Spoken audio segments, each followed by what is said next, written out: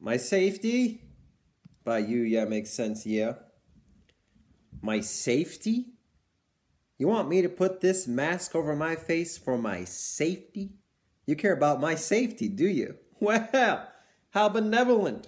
How truly charitable, kind, and loving you are, pouting there with eyes inflamed from cold, dead passion, telling me to cover up my lovely, strong, masculine face for my own safety.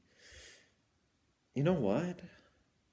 Now that I'm standing over you and smelling you and all your naked, enthralled quivering, I think I'm starting to sense it.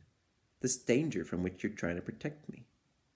I feel it right here, between me and you.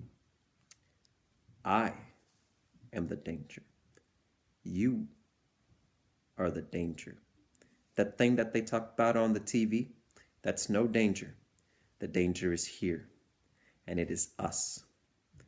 So, are you gonna let me drink my fucking coffee in peace?